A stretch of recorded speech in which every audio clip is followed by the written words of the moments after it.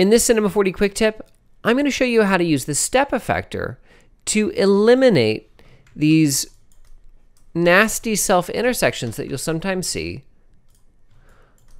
when you are sweeping a spline.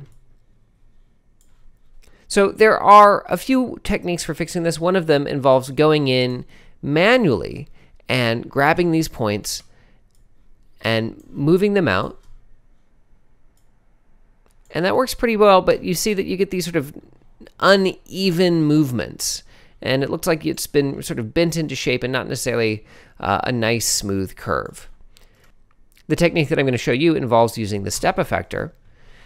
And that allows us to take each point in sequence and move it out or back to eliminate or minimize and then control those intersections. So let's go over the process now. Here I've got my scene, I've got that intersection at each of these sort of loops, and what I want to do is add in a MoGraph effector step, and I'm going to drag this inside of my spline. And by default, the effectors only affect clones, but if you go to the Deformer tab, you can actually affect the points or polygons of your object.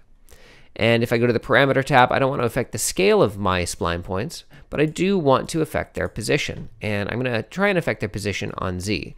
Now, as I do this, we get this crazy movement of my points. And basically what's happening is they are trying to push either in or out from these curves.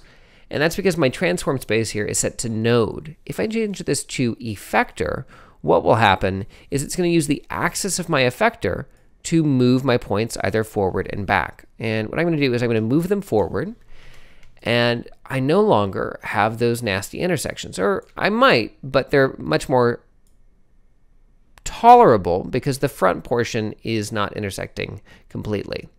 Or I can go in and make a really strong adjustment and completely eliminate those intersections. Now, the one downside of doing this is if I look at this from the top, I'm getting this very linear diagonal shape. And one way to correct that is to go into my step effector settings and drag over this rightmost point and add in a new point at the far edge. And I can now come in here and slide this middle point around and decide where it's going to push out the most, keeping an eye out for any intersections that might occur.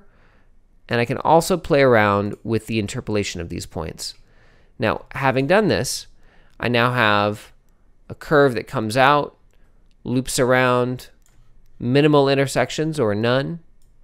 I can just sort of play with that, and then goes back around nice and neatly. And you can really tweak the beginnings and the ends to get just the look that you want.